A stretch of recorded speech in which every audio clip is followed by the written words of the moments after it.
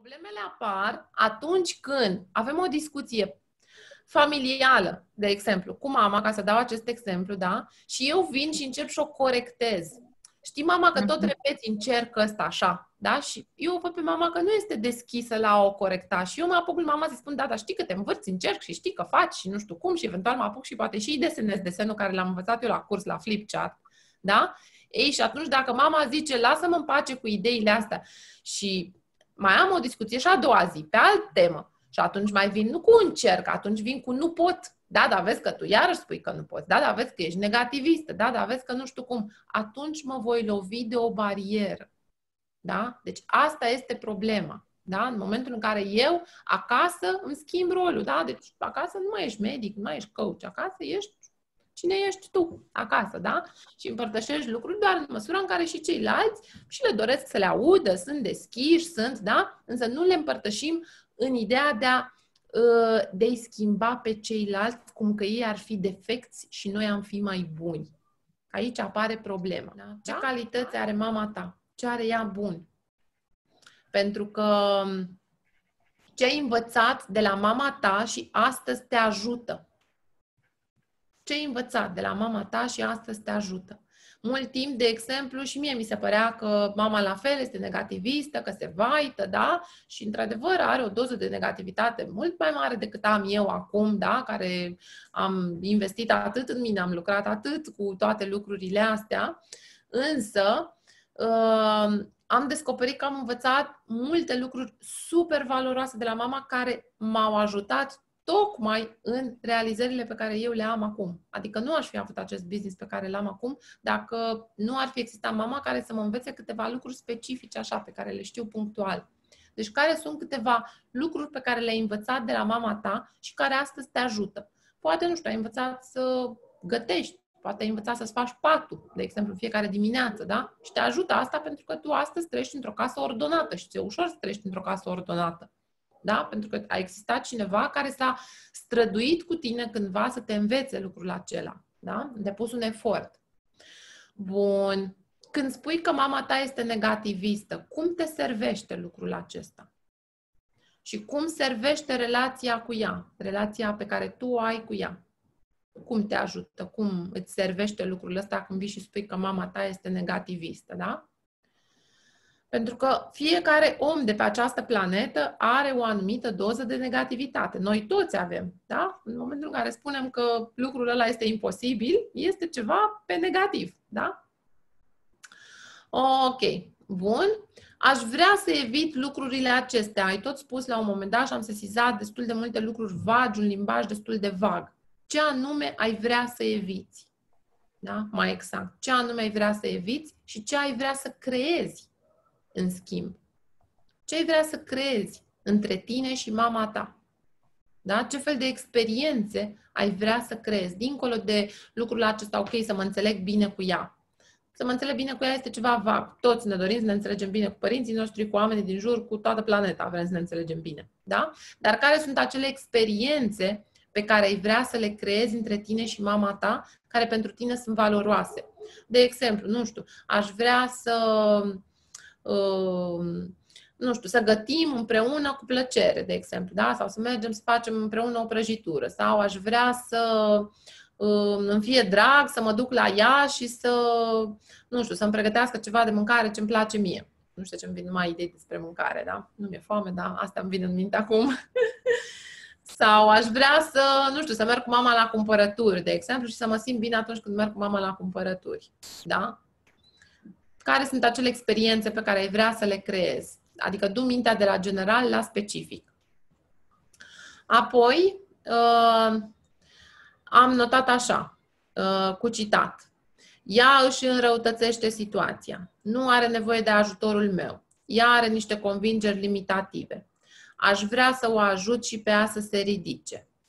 Așa. Uh, ok. Bun.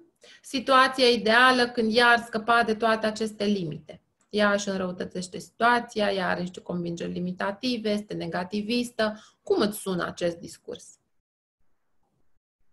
Da? Cum te servește acest discurs în relația cu mama ta? Pentru că toate aceste gânduri îți creează relația cu mama ta. Toate aceste gânduri îți creează realitatea. Pe ce te concentrezi din tot ceea ce reprezintă mama ta ca ființă și ca mamă pentru tine, în momentul în care spui aceste propoziții. Cum te servește acest focus pe care îl ai? Da? Spui la un moment dat, de exemplu, aș vrea să o ajut și pe ea să se ridice. Ok, înțeleg lucrul acesta și este admirabil. Însă, ea vrea să o ajuți?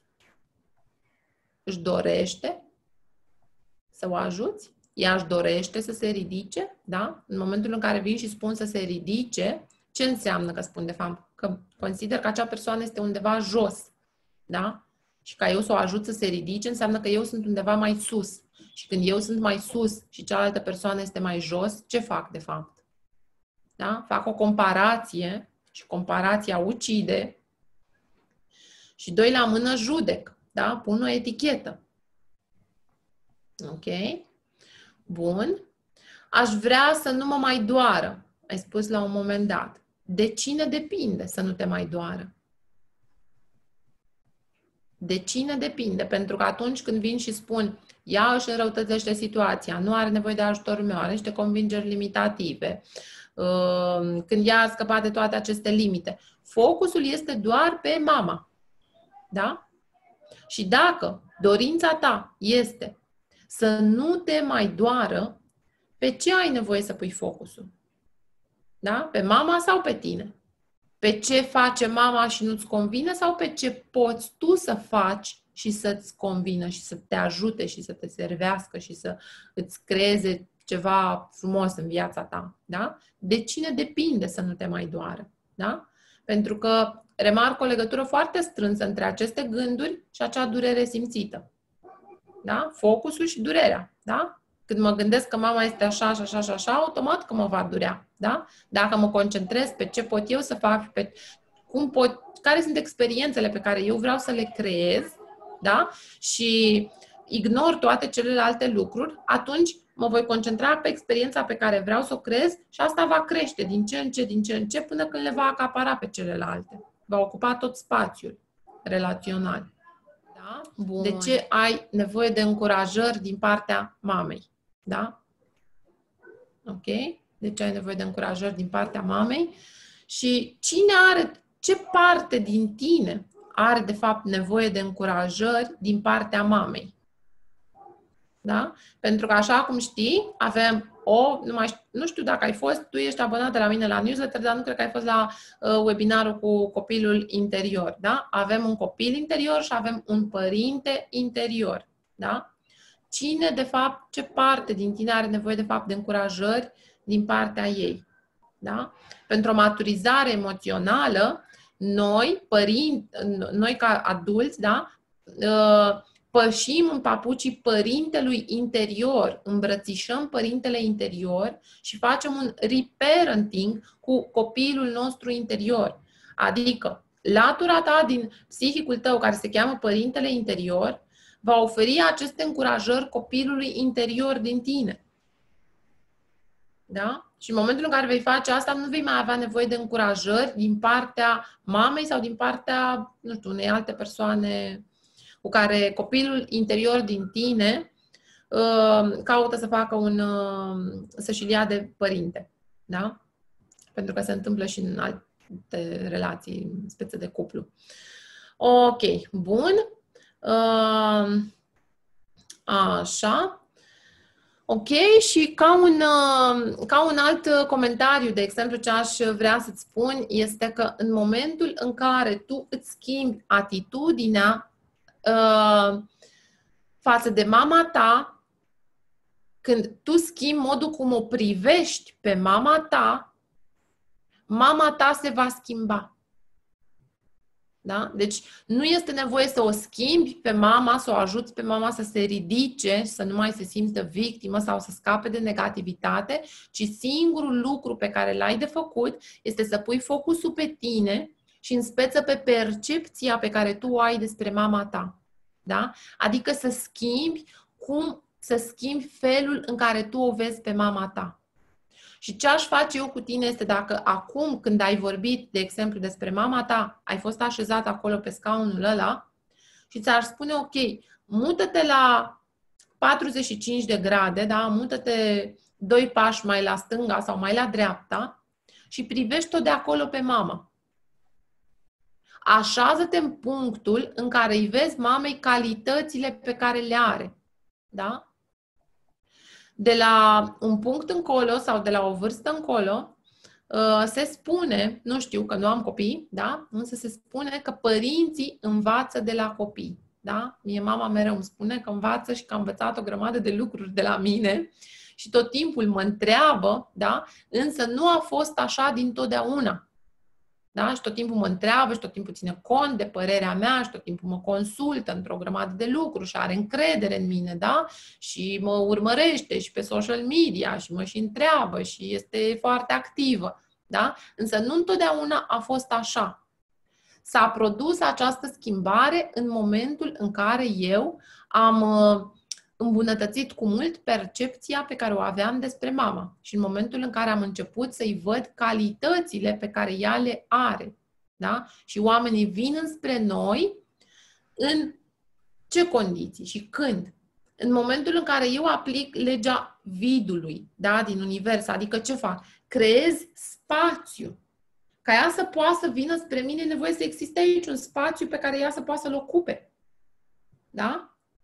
Ca ea să poată să-l ocupe, să vină spre mine, este nevoie să fie spațiu. Dacă eu sunt așa acolo, ce se întâmplă? Se va îndepărta. Da? Se va îndepărta. Deci de asta am tot timpul această reacție. În momentul în care mă duc să, pun cu, să dau cu, cu forța, să bag cu bolonicul pe gât oamenilor din viața mea ă, binele nesolicitat. Da? Nu mai este privit ca pe un bine, ci este privit ca pe un aha, mă consider defectă. Deci vrei să mă schimb, nu mai sunt bună pentru tine, nu sunt bună de iubit așa cum sunt. Da? Mi-amintesc în momentul când i-am spus mamei mele că uh, a fost o mamă foarte bună și că este o mamă foarte bună și că a fost o mamă perfectă, da? în momentul în care ea se tot văita că n-a făcut nu știu ce, că n-a avut suficienți bani să ne cumpere, să ne facă, să ne așa, da? și în momentul în care i-am spus lucrul acesta, uh, a început să plângă. da? a început să plângă, da? Și nu cred că există părinte care să nu facă greșeli, da? Și nici tu nu ai copii și nici eu nu am copii, însă sunt convinsă că, cel puțin în privința mea, atunci când voi avea copii, sunt convinsă că voi face greșeli și sunt convinsă că în toate celelalte relații ale mele am mai făcut și greșeli, da? Pentru că nu există om care să fie înțelept din prima, da? Așa că singurul lucru care îl avem noi de făcut în relații este să creăm în interiorul nostru da, persoana pe care vrem să o întâlnim. Cu alte cuvinte, să creezi în interiorul tău mama pe care vrei să o vezi. Da? Este totul despre percepția pe care o ai despre mama ta. Și când tu schimbi percepția, mama ta se schimbă. Da? Pentru că mama nu este altceva decât o percepție. Da?